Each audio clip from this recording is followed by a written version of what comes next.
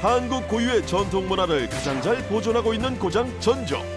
특히 수많은 한옥이 옹기종기 모여 있는 한옥 마을을 거닐다 보면 한복을 곱게 차려입은 젊은이들을 종종 마주칠 수 있는데요. 사람들이 한복을 막 입고 머리도 이쁘겠다고 막 이렇게 다니는데 그치? 나도 진짜 그런 것 좀 입고 다니고 싶다. 이거. 아, 안 챙겨와서 너무 아쉽다. 어, 한복 입고 싶어? 응. 그래, 니 한복 입고 싶어? 응. 한복 입고 싶어요? 응. 한복 입고 싶으면 소리 질러! 한복 입고 싶어. 한번 더! 한복 입고 싶어. 더 귀엽게! 한복 입고 싶어. 아, 뭐야. 가자.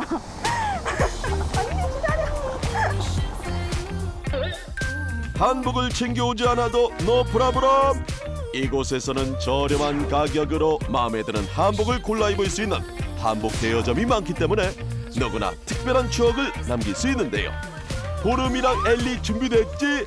아흐 오늘 예쁘게 변신해 보자구. 안녕하세요. 안녕하세요. 한복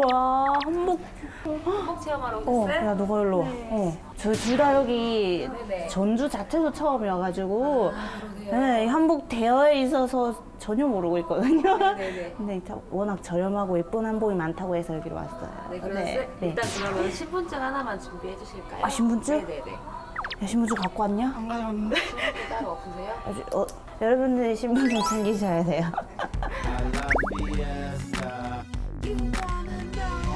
네. 있어요. 일단 치마 색깔을 고르시면 한복을 완성하기 쉬워요. 때문에 치마 색깔 먼저 한번 살펴보시고 이쁘다. 그다음 저고리 추천해드릴게요. 아, 네, 알겠습니다. 아, 음, 골라볼까?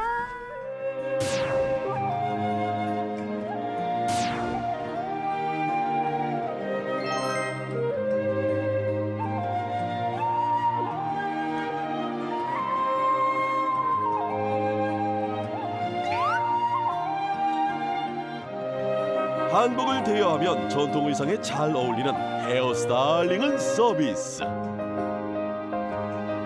기품 있는 양갓집 교수로 변신할 우리 MC들의 모습 궁금해지는데요.